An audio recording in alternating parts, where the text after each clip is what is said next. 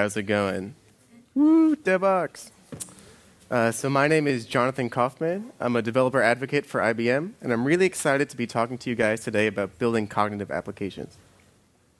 Specifically, we're going to focus on creating visualizations using cognitive and machine learning-based APIs. This session is going to be broken up into four parts. Uh, we're, we're going to start with, with a discussion on what it means to be cognitive. Then we're going to look at some demo apps.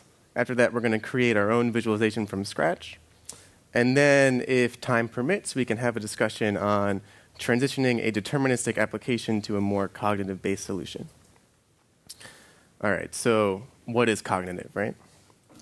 Well, to start off, no one really knows. It's a, it's a, it's a fairly ambiguous term. In fact, Wikipedia uh, is quick to point out that this is, in, in fact, a buzzword created by IBM, right? So cognitive computing a buzzword and computing concept by IBM aims at making human kinds of problems computable. Right? So perhaps a better definition of, of this term would be cognitive systems are probabilistic. They generate not just answers to numerical problems, but hypotheses, reasoned arguments, and recommendations about more complex and meaningful bodies of data. Right? So what does any of this mean? So it's about, it's about this point where people sort of start to make this association between this word cognitive and this concept of machine learning. Right? Are they, are they equal? Are they not? Um, and so I would venture to say that they are not equal, but in fact, machine learning is a small subset of these cognitive systems. In fact, there are, there are more components, right? So in a, in a cognitive system, we're, we're going to have to use machine learning with a large heap of unstructured data to sort of create insight. Uh, and this sort of goes back to that second definition of creating these probabilistic hypotheses and recommendations. So a cognitive system versus a deterministic system. In a deterministic system, developers have to build this sort of complex state machine representing their app. And that state machine, you know, it has your application state, it has different views, you have your user navigating it, uh, but everything's sort of planned out for you. In a more cognitive system, right, um, you just have this heap of unstructured data and the system itself learns and uh, creates these probabilities for you, right? And so this sort of leads us to what we're going to re re refer to as a cognitive spectrum, where you can have things that are, you know, sort of more basic, mildly cognitive, and things that are very deeply cognitive, and perhaps those don't even exist yet, right? In this talk, we're really just going to look at more mildly cognitive things because that's what we can build today. But there are some examples of deeply cognitive apps that I want to discuss uh, right in the beginning. So one of them is uh, we've been doing research with Watson and many other medical uh, institutions, right? So with Sloan Kettering and the Cleveland Clinic.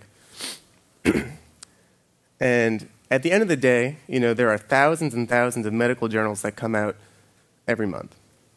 And it's simply beyond the scope of human knowability to, to read all of these, right? So we're able to design these systems that can read things in real time, and going back to those probabilistic hypotheses, suggest um, diagnoses or, or suggest further actions to help doctors with their work. There's also research being done with the USAA. Uh, and here, this, this aims to help soldiers transitioning from soldier life back to civilian life again, there's a heap of unstructured data coming out every single day. People are writing about uh, pain points and, and, and what happens to them. So we're able to design these systems to help soldiers transitioning. And lastly, we have HAL. And this is a joke, right? We can laugh, ha ha ha. By the way, there are, there are about eight jokes, and you're not allowed to leave until you laugh at all of them. Uh, that was number two, so thank you. And so we live in this, in this pretty exciting time because developers no longer need to be intimately familiar with uh, the core concepts of machine learning to build applications, right? So companies like IBM and Google and Amazon are releasing these as APIs for you uh, so that you can build apps yourself. Specifically, Watson is broken up into a series of 19 different discrete APIs. And these cover everything from natural language processing to speech to text and text to speech to different visual APIs and different analytics based APIs. And so with these, while, while each of them solve this sort of micro problem, we could stitch them together to build insight, right? So we could sort of imagine piecing the speech to text service to some tone analyzer, right? So a, a user can interact with the system with their voice. We then convert that to text. We can analyze it, uh, extract some concepts, feed that into the dialogue service, maybe look things up, and then convert it back to speech. And using something like this, we can create either a chatbot or maybe some kind of Siri-like thing, right? Okay. So the first demo that we're going to look at is this rather simple application. Let me just jump over to it here. So this is an app called uh, Election Insights. And what's going on here is it's doing natural language processing on news articles in real time, if it loads. Here we go. Uh, so sorry that the colors aren't quite great on this screen. But what's happening is we have this spectrum of blue to red, from positive to negative, and different size of different bubbles, right? So what this represents is uh, both entity extraction and sentiment analysis done by different APIs. And so I was able to build this as a simple web developer, right? With no real machine learning experience, but we can still use it to gain insight into what's happening. Right? So we could then change the date range. And I guess things are going a bit slowly, right? But so here we can see how sentiment is changing over time. And so uh, this was a rather interesting problem to solve. So we're going to look into what went into creating this visualization. So the application itself is a Node server and client code. The Node server goes off to Alchemy API, which we'll be looking into the query and the response data from that later. Alchemy goes off to the news, which is when we do the sentiment an analysis, etc. Right? We're going to take the results from that and cache it in a Mongo database, and we'll discuss why we did that later too. And then the client code is split between React and D3. And this section up here is running in our platform as a service called Bluemix, and we'll be doing another demo of that uh, later in, in, the session. So Alchemy API, what they do uh, is pretty great natural language processing. And they have this service called Alchemy News, which is sort of a demo in and of itself.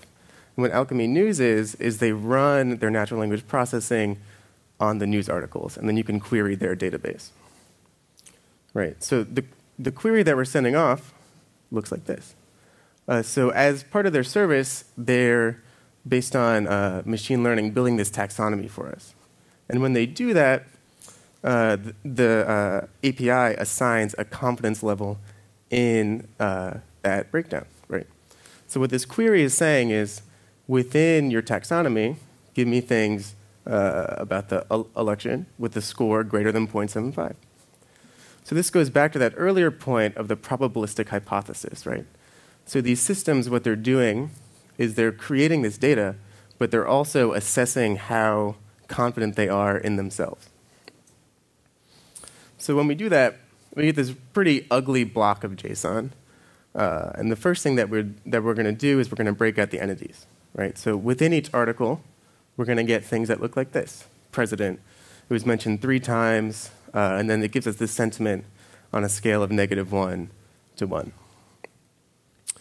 And so we're going to put these in a, in a Mongo database that we can map reduce over it. And then we're going to perform six steps of manipulation on this data. The first thing that we need to do is query the entities by the date, which is that you know, time bar on the top of the app. Then we need to group them by the text. We need to average the sentiment, which is going to determine the color of the bubble. Then we're going to sum up the count, which represents the size of the bubble. Then we're going to sort them by the sum count, right? And then limit to an arbitrary number, which is that slider on the bottom. And so the issue with traditional MapReduce is that you can't sort by the value of, of the reduce, right? You can only sort by the keys. Uh, but thankfully, Mongo has this notion of what's called the aggregation pipeline. And the aggregation pipeline is essentially a subset of optimized functions that you can use to map reduce your data. But because uh, they limit you to, to pre specified functions, you can't use your own mapping function, for example, They limit you to things like sum and average, etc. Um, it's highly optimized, and, you, and they do allow you to sort by the value. So those six steps we can actually, we can actually represent in one line of code. That code looks like entity.aggregate. So the first thing that we do is we match it by the date. We then group uh, by the text so that we can, you know, everything that says president is matched together. And while we're doing this, we can say simply sum the count and average the sentiment. We can then sort by value descending and limit to whatever is passed into our function. And so with one line of code, we're able to create the data that our application needs to produce this visualization. And that's pretty cool. But because that's rather, I just spoke a lot about code, and it's sort of hard to, you know, conceptually picture what's happening, uh, here's a, a, a, quick little visualization, right? So we have these articles, and each article has, has an assigned date. The first thing that we do is we query by the date, right? So we get rid of the ones that don't match. Uh, so looking at what entities are in each of these articles, uh, we then break them out of the article, but remember where the date is. We then group them by their text, right? And then we're going to average the count, or sum up the count and average the sentiment, and then sort them, right? So the next visualization I want to quickly look at is this other app. You might notice that I also wrote it because it looks very similar. I like bubbles, right? Uh, so what's happening here is we're going to try to correspond uh, changes in stock value to the sentiment being talked around them. Right, so if we, if we click on one of these, it does uh, a, a, a, very similar thing to what's happening with the election insights. Uh, and we can also do a join on two different companies, right? So we can, if it loads, there we go. Right, so now we're looking at entities being discussed uh, in both of the companies that we select. So this is cool, but this wasn't exactly the, uh, didn't give us the insight that we that we were hoping for. So we also built uh, this application called Portfolio Insights, and what this app allows us to do, refresh it, um, is we're going to graph the stock value against uh, the average sentiment for that day to see if there's any correspondence here. So this is actually tapping into the exact same database from the Stock Insights app. Um, and it's doing a, a very similar MapReduce to what we discussed with the Elections app, except it's averaging everything for a given day and plotting it against the value. So this is another simple way that we could tap into these APIs, right, and sort of extract some insight. Like, is, is the sentiment in the news directly correlated with the stocks, or is it not?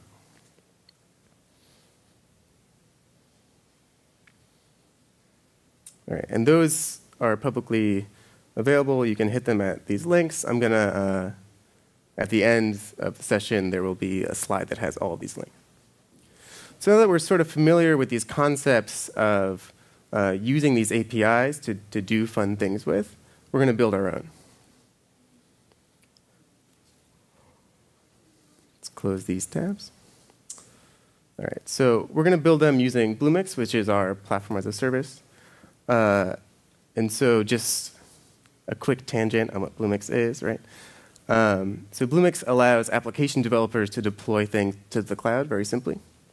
You can either deploy your app in a Cloud Foundry runtime or as a Docker image. If you deploy your app as a runtime, you literally push your source code to our cloud. Uh, the platform then sets up the environment for you. It does all the networking and all those fun things. Uh, everything is then blank as a service, right? So we have Watson as a service, which are the APIs that we'll be using, and the APIs that we've already discussed. Different services for mobile apps, etc. right? Too many to go through right here. Uh, but what we're going to do is we're going to use Node-RED. And what Node-RED is, is it's an open source project that allows you to visually program function blocks to create cool things pretty quickly. Um, and so taking a step back, the application that we're going to build, we're going to try to make a fun little visualization that uses the Watson tone analyzer and is going to convert that into color. And so the first thing that we do is we name our app, we deploy it, And as this process takes uh, a minute or two, instead of just watching a spinner go as it's deploying our things, I went ahead and pre-did this, right? So over here, we have our Devoxx node red flow, and I've gone ahead and added the, the uh, tone analyzer service to it so that we could get up and started. Right, so when we hit the app, the first thing that we see is a sort of an introduction to how to use Node-RED. And there's, and there's great documentation. Um, and if we have time at, at, at the end, I could sort of go through it. But it has this, this nice little fun button to go to our Node-RED editor. So just to get a sense of what Node-RED can do, the first thing that we're going to do is define an HTTP input. We're going to give it an endpoint for reasons that will be clear in a second. Uh, and, and then we can define an HTTP response. Then all we have to do is wire them together. So right now this is pretty boring. It's not going to send anything. So what we'll do is we'll put a template node in the middle. Can you guys see? Should I zoom? Yes? No? Zoom, yeah. Let me move these over. I'll just leave that here. Right, so in our, in our template, we could say uh, we could say hi Devoxx. All right, so now when we deploy this app,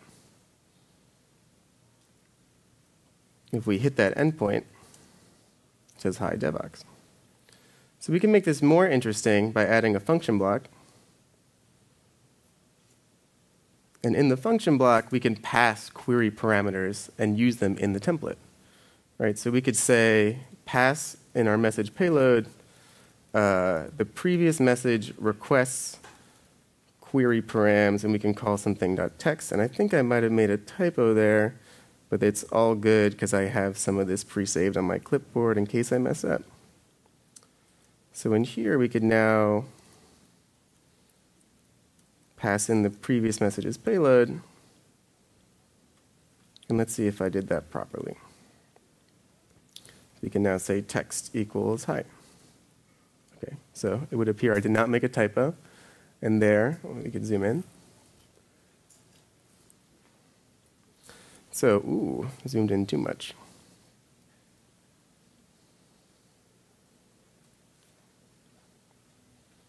Right, so now we're, we're going to make things interesting by adding that tone service. And just so that we get a sense of what this is going to give us, we can add a debug node over here. Right? We can plug this in, say, hey, let's look at what the response of that tone service is going to be.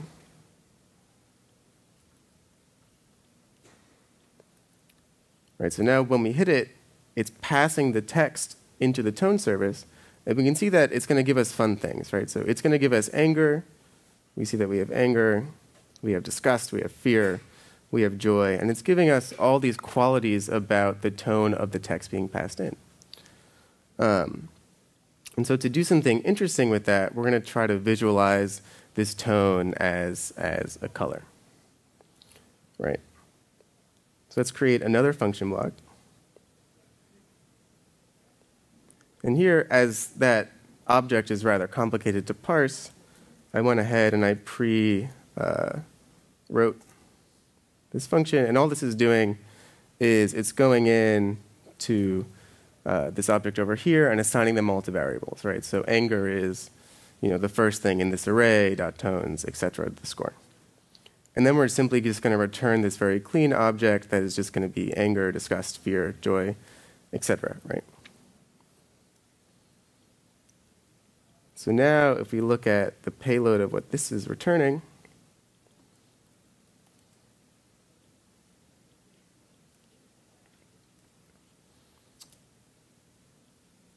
we can see that we have this nice and simple object that is giving us uh, all the qualities in the tone. And so in creating this demo, I realized that there is no good way to directly turn tone in, into color, but I tried, right? So uh, essentially what I did, very hacky, it's not the best, you can maybe improve this on your own later, but I tried to assign different attributes to different RGB values. right? So this, this code is saying, in R, you know, let's, let's average anger and, anger and fear. And for G, let's do openness, agreeableness, and disgust, right? If it's more disgust, it should be green, maybe. And blue can be sad. Uh, and then what we're going to do is we're just going to return this RGB object. Right, so if we look at the response from here,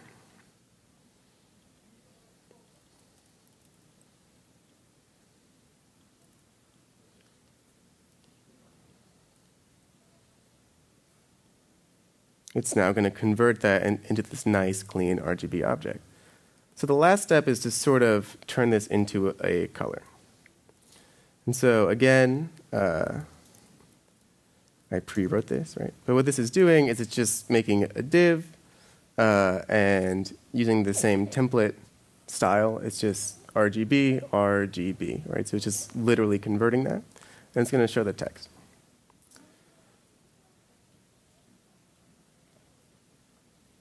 Right, so now, if we said something like, I'm so sad and it's raining, it's bluish, right? Or if we say something like, I'm really angry and going on a rampage.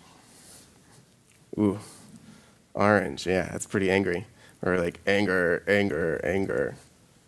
Right, that's gonna be red.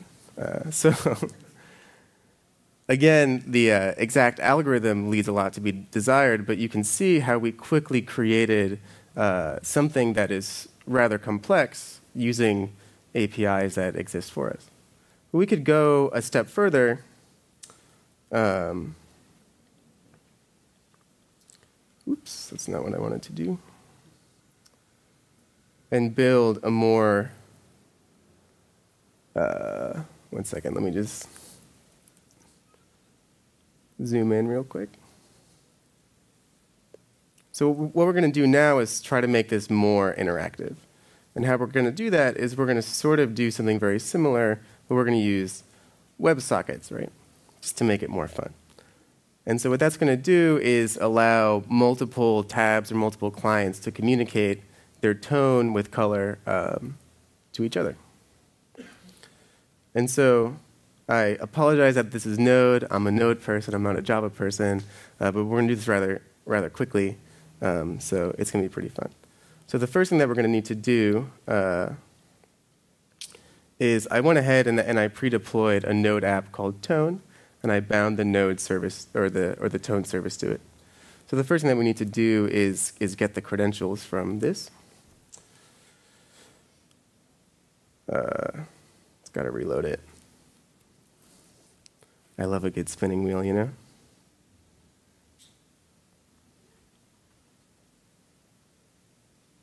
Right, so we're going to get uh, the username and password from this service so that we can authenticate with Watson.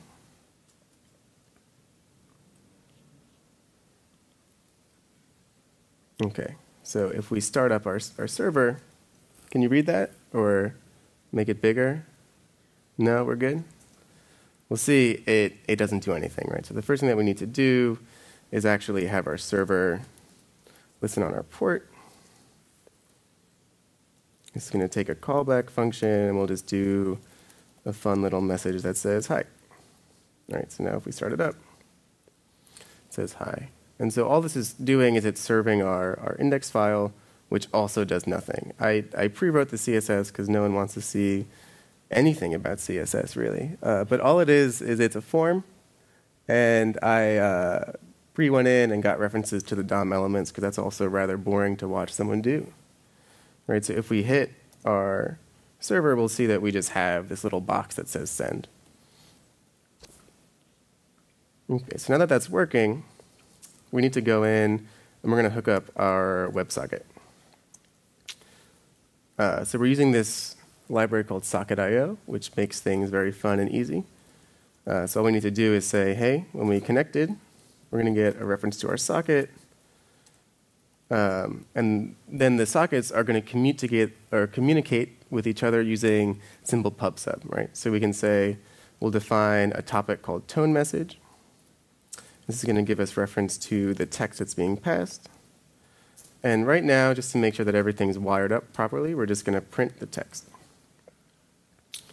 And then over on the client side, what we're going to need to do um, is set up an event when our form is submitted. All right, so we're going to say form add event listener, submit. It's going to take a function with the event object. Uh, and for annoying JavaScript reasons that I don't want to get into, we have to prevent default behavior. Uh, we're then going to say socket.emit um, tone message. And we're going to pass it the value of what's in the input. And then we should clear what's in the input. And then for more annoying JavaScript reasons, we have to return false. Uh, so if we restart that, hopefully it's going to work. Does this work? It does not work, so that's exciting, right? So let's see if there's an issue here. ah, interesting, interesting. Well, luckily, I went ahead and I have this so I can copy and paste it just in case I needed to, and it looks like I did need to.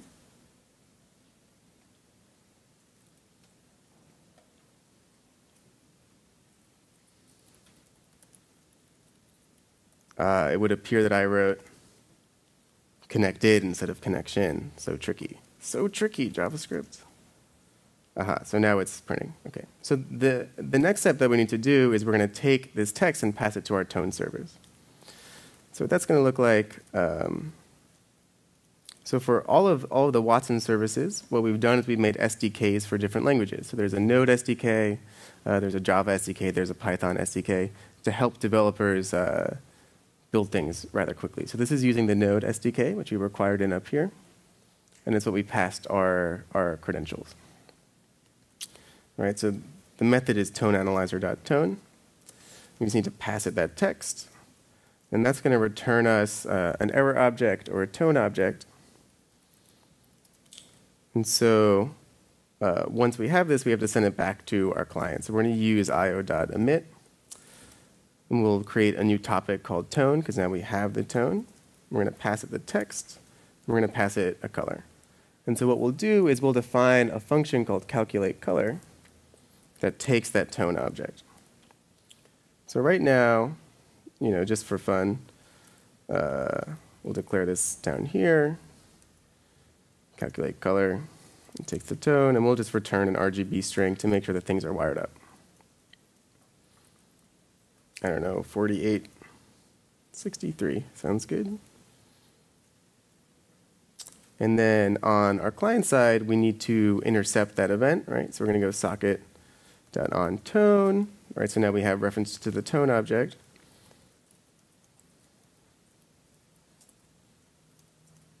And all we're going to do is we're going to set the text somewhere on the page so that uh, other clients can see what's being analyzed. Um, message.text. And then we're just going to set the color in, in the background.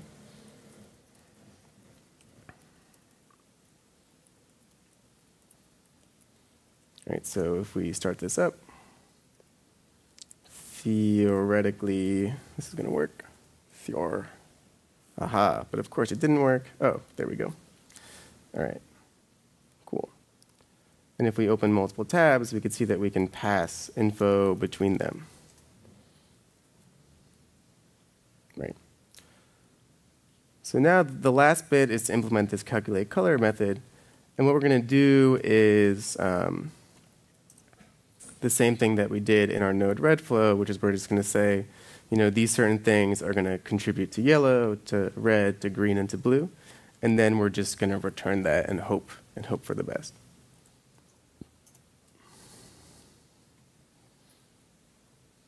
All right, so now, oops, if we write something like sad, sad, crying rain,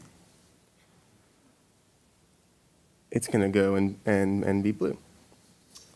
And if in a, a new tab we say something like happy and skipping through a meadow of flowers, it should be yellowish, maybe. Okay. I'll take green. I'll take it. Um, and so we have this nice, this nice uh, client communication happening. So the last step is we want to get this application running on the cloud so that multiple people can interact with that. So all we need to do, the name of this app is Tone, uh, is I went ahead, and the way that you push applications to Bluemix is uh, using this open source project called Cloud Foundry. And in Cloud Foundry, it's rather simple. You just have to define a manifest file that says, hey, this is the services that I want to use. Uh, use the node build pack. This is the command that you're going to use to start my app. I want one instance and allocate 256 megabytes for it. And then once we're authenticated, which I assume that you don't want to watch me type in my password, all we have to do is go see cf push name of app, which in this case is tone. And what this is going to do is it's going to take the files from this directory and push them to Bluemix. And then Bluemix is, is, is going to see, using this uh, build pack, hey, we want to use a Node app. And it knows how to run Node apps. It knows that it needs to go into package.json and install all the dependencies. And it also knows that I defined uh, this command to start the app, npm start, which is just going to kick off the server, right? So we can watch it doing this. Uh, it takes about 30 seconds. But then once it's up and running, this app is going to be live at this URL, uh, tone.eu-gb.mybluemix.net. So if you guys want to hit this URL, you could put stuff on the screen. It might be a bad idea for me, uh, but we can try it if you want to. If you don't want to, that's okay too. I won't be offended. All right, so now we see uh, it finished its routine, it installed all, all, the things. And the last thing that it has to do is uh, kick off that start command, and it's going to run the health check. All right, so now the app is started. So I'm going to go to this URL. Might be a bad idea. I don't know. We'll find out. We'll see what you guys type. Uh, if no one's going to do it, that's fine. That's okay. Just let me know. Is anyone going to do it? Should we see? Yeah, we got one. Cool. Uh, right? So, what we've done is we've. Dog poop is green. I knew that this was dangerous. Maybe I should end this soon.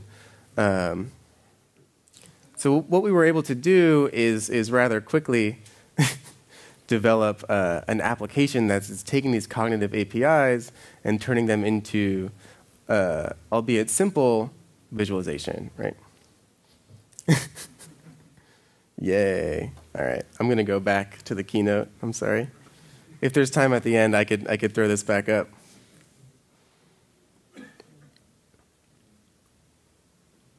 All right, so now that we have a better sense on how to use these cognitive APIs, let's take a, a, a different approach and see how they differ from uh, rather cognitive solutions or de deterministic solutions. So we're going to take an example and just look at a hypothetical shopping app, right? So we've all probably encountered something like this at some point in our lives, uh, right? We have a search bar, some kind of faceted search results, and some items, and we can add them to our account and cart. And I chose this example not because it's the best example ever, but because we're all familiar with it. Right? So maybe we could search and we can go through and narrow things down. And so an application like this can be represented in a state machine, right? Uh, we have different possible states that our app can be in, and the user is going to navigate uh, through it, right? So you can create different workflows, and as developers, what we need to do is, is figure out how these things work together and try to mitigate as many bugs as possible, right? Um, so to make this cognitive, we might just think, hey, you know, let's take one of these blocks and make it smart. Right, so let's take search. Let's go through and let's make our search. It's going to learn. It's going to use NLP. It's going to have crazy good autocomplete. It's going to be an all-around awesome search block.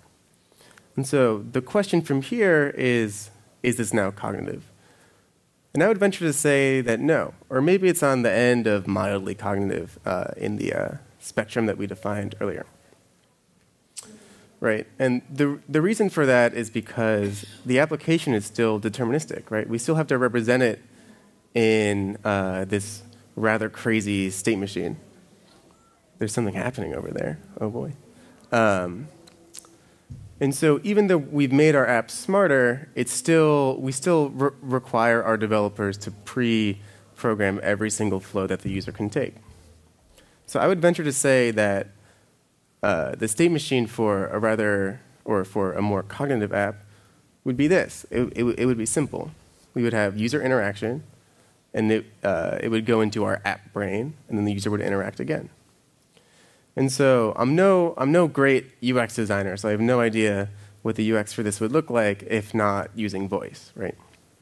So the way that uh, applications and apps and all this stuff work currently, when you download something on your phone or on, or or on your computer, you have to learn how to use it, and you have to fit your behavior to it. But if we were to build something more cognitive, uh, the application would respond to us. And everybody knows, uh, you know, how to interact with speech or text, right? Uh, cool. So the UI for this might might look something like this, right? So in in this system, what we're doing is we're able to have this sort of free form, non-deterministic um, interaction with the app still uh, uh, while accomplishing what we need to do. And so that's the majority of what I have prepared for you. Um, uh, I sort of brushed over some, some things rather quickly. If you'd like me to go back and, and we could discuss them in full, right? Uh, so some of those things were what Bluemix really is. We could discuss more of what the Watson services available to people are. Uh, I could take questions. I see you have a question. So this is it's going to have this sort of be a, a more free form uh, final 10 minutes for you guys. Yeah.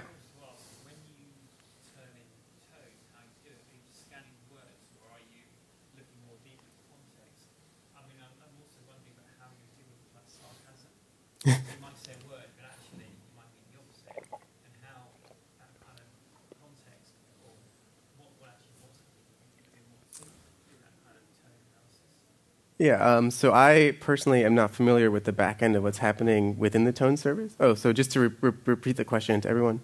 So the question was how actually is the tone service implemented, right? And then beyond that, uh, can it detect something like sarcasm? And so uh, just in my usage of it, I would say that it cannot detect sarcasm yet, right? It's not any of the metrics that we're looking for. Um,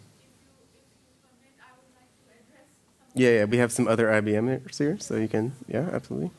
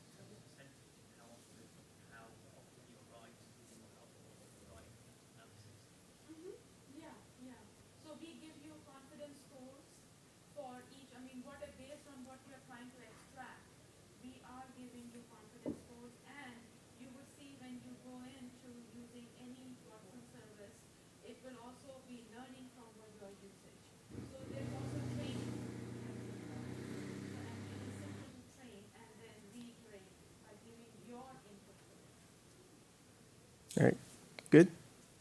Any, yeah. What was that? I mean, so uh, just to go back to my first comment, or my first comment, which is there's no real concrete definition of cognitive yet, um, but Google Translate does learn over time, right, and it does get better. Uh, but I would venture to say because it isn't at least surfacing in, in, the, in the UI its own confidence in its answer, uh, that it's not cognitive by, by our definition of it, right?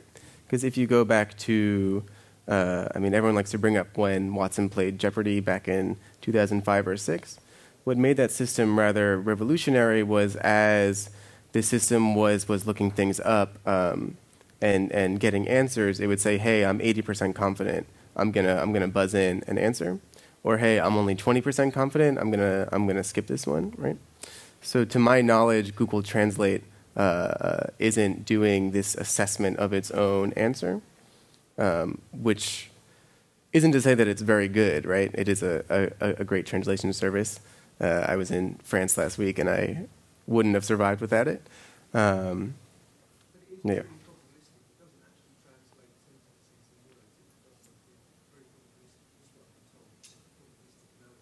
Yeah.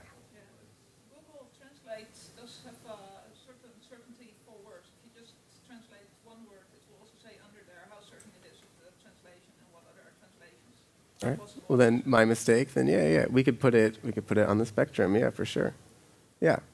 So, does uh, Watson have any APIs for extracting facts like triples out of text? For example, if you fed it a Wikipedia article, tell you that a certain person attended a certain college kind of thing? Would it would extract the text out of, the facts out of? Yeah, so actually, um, in the Alchemy API, uh, natural language processing, it builds these things called relations for you.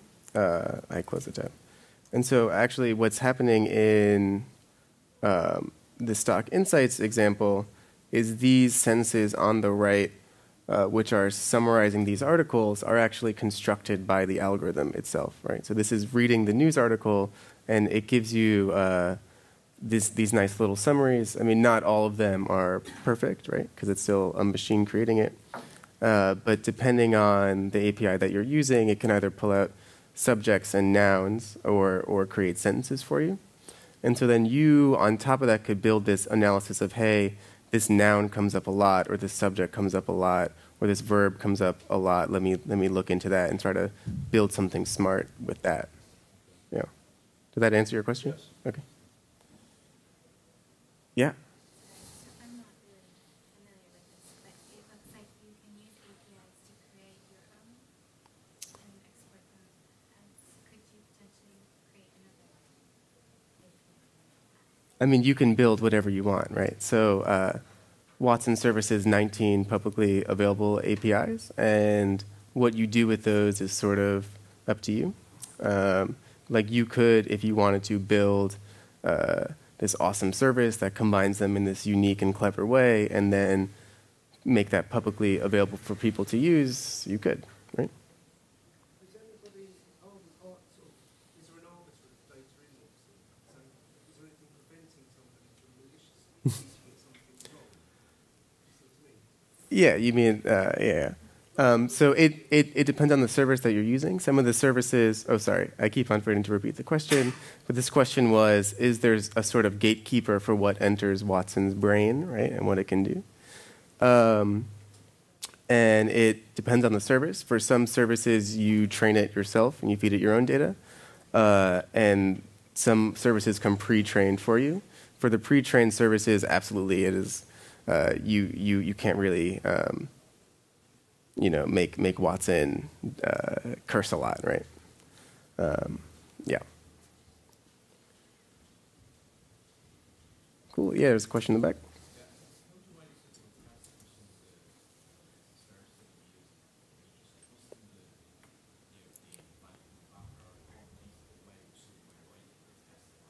So the question is, how would you uh, uh, test this, right? So if you're building an application using this, how would you test it?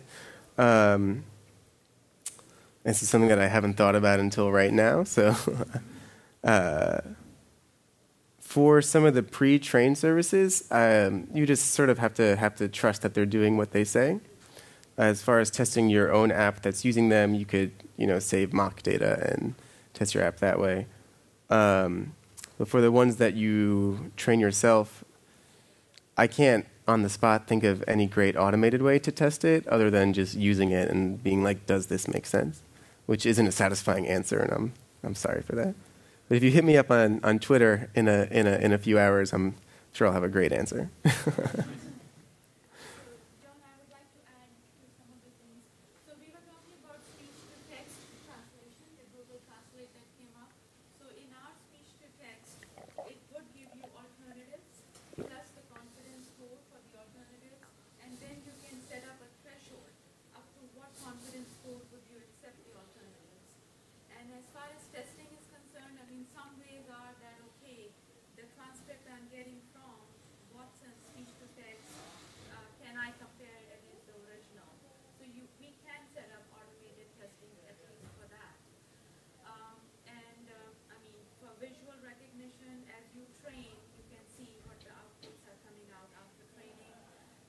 Insight, for example, you can see what your searches are returning as you have added your own corpus. So yes, there are some ways for create, uh, testing purposes.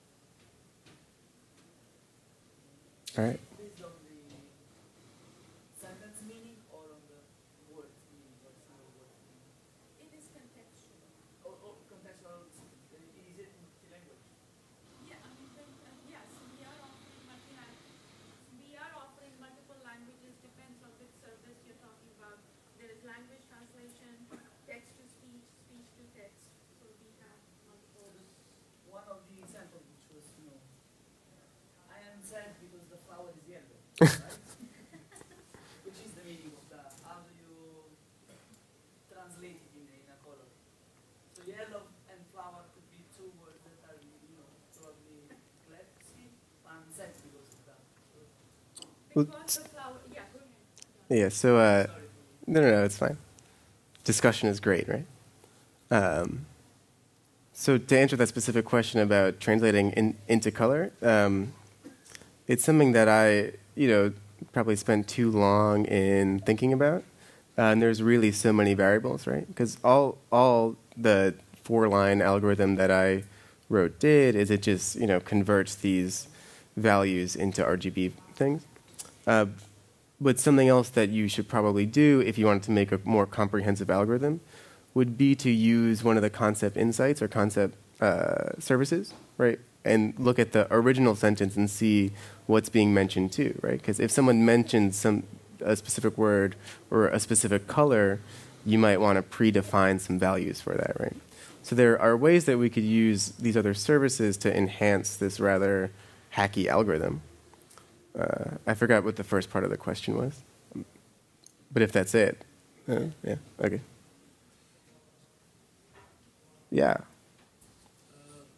language specifiers, this is to natural language generation such as portfolio summarization. Can you repeat the question? Sorry, I can't hear. Uh, this language classifier service, uh, does it do natural language generation such as portfolio summarization? Uh, That um, so the so the question was uh, specifically about uh, the language the language classifier service, and it's one that I personally haven't used, so I don't want to give you misinformation. But if you come talk to me afterwards, we could pull up the docs and see.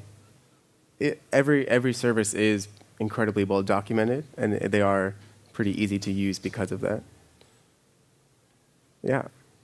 As far as, um, you know, how you're arranging the batteries um, and connecting them, is there, like, um, within Linux, is there uh, something that helps you learn, I guess, the arrangement, how to put Yeah. So the the question was specifically about using Node-RED. So Node-RED isn't, isn't specific to Bluemix. It's an open source project um, that is a Node app that allows you to, to wire these things together. And if you just go to node-red.org, uh, there's also great docs for that, right? Uh, so on, on node-red.org, they have nice getting started guides. They have, um, you know, how it's built, and, and, and they sort of walk you through creating these flows. Yeah, so we only have two minutes left. Uh, I could take one more question, or if you want to play with, with the tone thing again, I can throw that back up. It's up to you. Let's do that. cats, cats, cats. Yeah. How clever is it? Can we get it to correlate, say, the weather to uh, mortality rates, say, or, or the weather to causes of death on a particular day? And just give you very, could you choose two very odd Yeah, so So the, the, the question revolved around creating correlations between different uh, sort of data sets on Bluemix. And for that, so what Watson really excels at is more natural language processing things. But within uh, Bluemix, we do offer a, Apache Spark as a service. And if you do that, you can define your own machine learning algorithm. You could say, here are my data sets, and you can build this complex flow using Spark, which is a, a great tool. Yeah. All right, and if that's it, uh, thank you guys.